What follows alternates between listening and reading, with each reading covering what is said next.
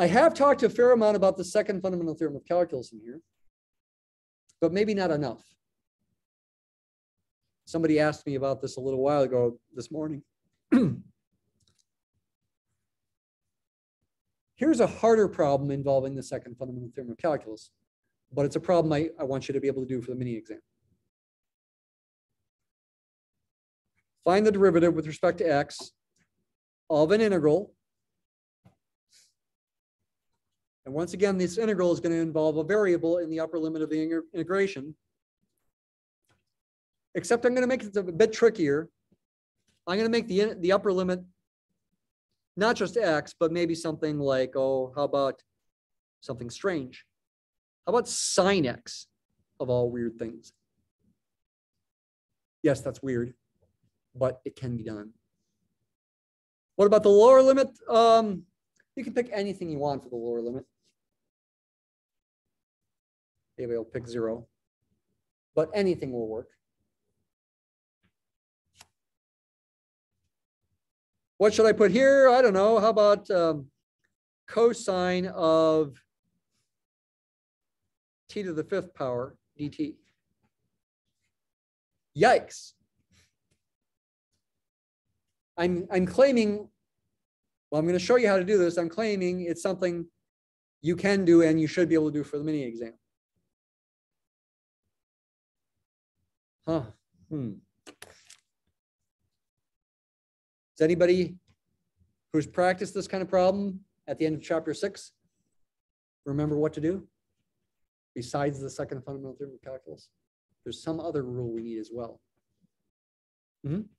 Is the ddx on the outside of the parentheses supposed to be different from the t's on the inside of the integral? Yeah, I'm trying to emphasize that these two things match.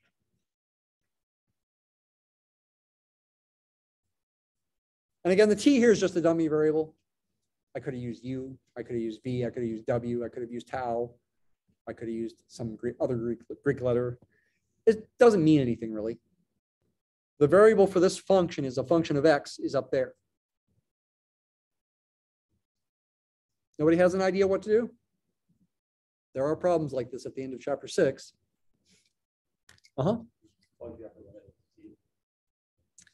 You do do that in part. That's part of the answer.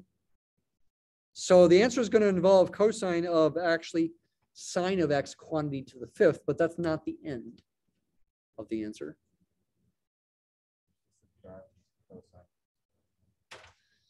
Uh, no, because you're not really doing the integral, you're differentiating it. This would be an example um, where you would definitely need to use the second fundamental theorem of calculus to find this derivative because doing the integral is pretty much impossible before you differentiate. This is an example of one of these impossible integrals to do. You can't literally do this integral before you differentiate. It's really a chain rule problem. When do you use the chain rule? You use the chain rule when you've got an inside function and an outside function. What does that mean? It means you've got a function that when you plug a number in for x, that you apply first. That's the inside function. And then you've got an outer function. Anybody think you see what I'm getting at there when I say that? Mm -hmm.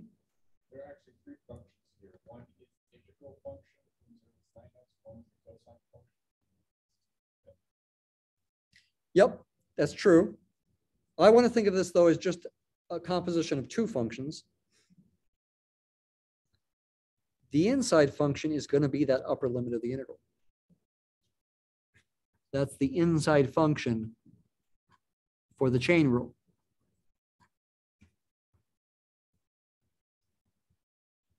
In other words, I want to write this function inside the parentheses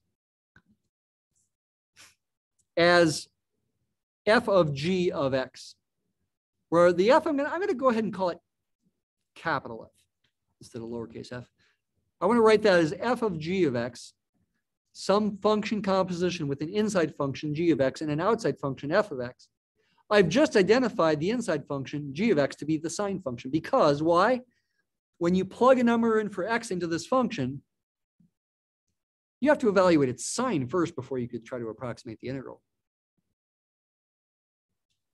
Sine gets done first. That's always what the inside function is, is what gets done first, because you work from inside to outside. The g of x here has to be the sine function. Sine of x. What's the capital F? What function am I plugging the sine function into? Mhm. Uh, zero to, Integral. we need another dummy variable, integral of zero to, we need another dummy variable, let's go one. Well, I want to make that an x though, because it needs to match that. Okay, okay, great. And yeah, I can use y to the fifth, but it's okay to use the same. Yep.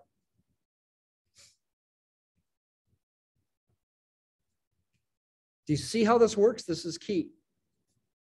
This function inside the parentheses, not including the ddx symbol, is capital F of g of x when g of x is sine of x and capital F of x is this integral with that variable up there just as a plain x. Because when you plug g of x into this function, you'd replace the x with sine x to get this. That's why.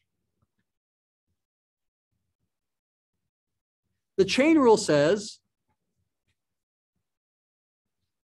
that the derivative of a composition, f of g of x, outside function of inside function, is the derivative of the outside function evaluated at the inside function times the derivative of the inside function.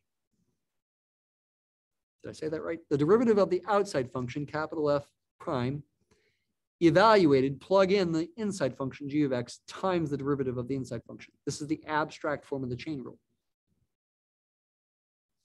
G prime is easy to figure out. That's cosine of x. And actually, capital F prime is easy to figure out because of the second fundamental theorem of calculus. What is it? Cosine of x to the fifth. That's it. Right? The, the prime, the derivative symbol cancels out the integral and you're left with the integrating function except use an x instead of a t. Because you want these variables to be consistent with each other.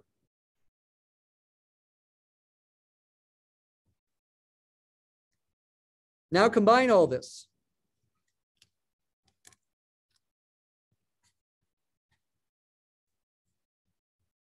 There's capital F prime cosine of x to the fifth, but I'm going to replace x with g of x, where g of x is sine x. So I get sine of x quantity to the fifth power times g prime of x, which is cosine of x.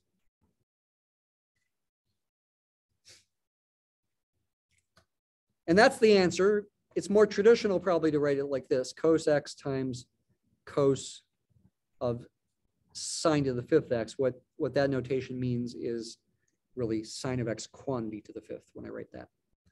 That's the answer.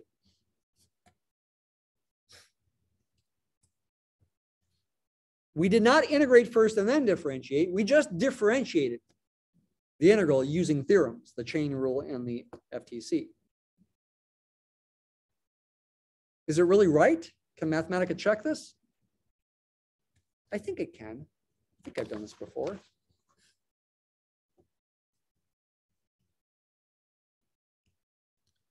Ah, There it is. I think, if I recall correctly, Mathematica can differentiate an integral. Let me call the integral h of x, just to use a different letter. Zero to sine x of cosine of t to the fifth dt. So I'm defining h of x there. I think Mathematica will find h prime of x. I might be wrong, but I think it works. Uh, but it made it a lot harder. Uh, okay, let's see. Maybe this helps. Maybe this helps. Oh, that worked full simplify. It's not that the other more complicated answer was wrong. It's just that it simplifies. And full simplify does that. And yes, that matches our answer right there.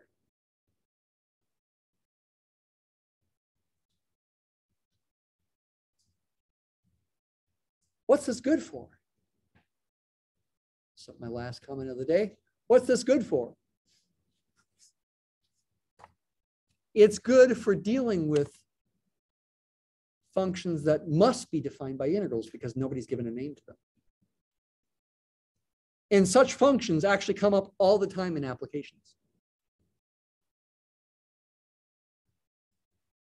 Sometimes people, they come up so often that people do give them a name.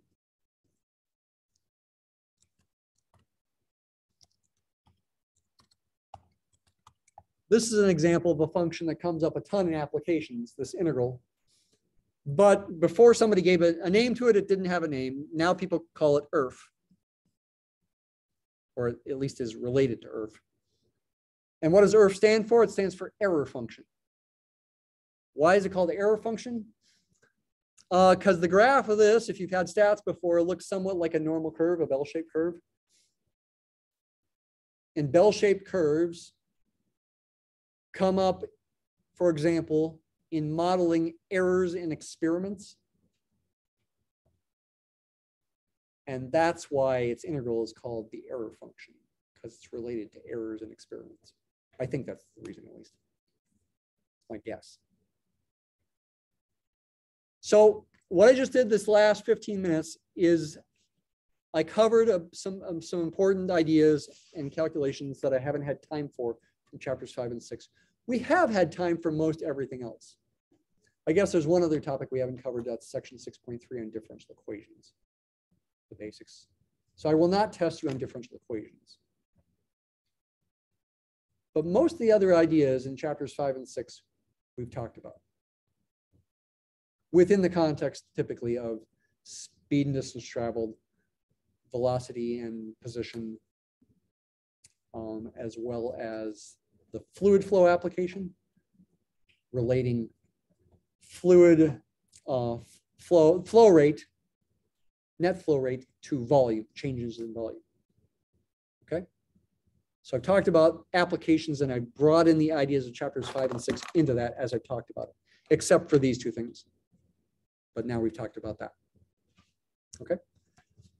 Make sure you study the old mini exams. Mini exam that I put in Moodle. Practice for that. And there will be a short assignment about, a shorter assignment about um, integration by parts due on Friday as well.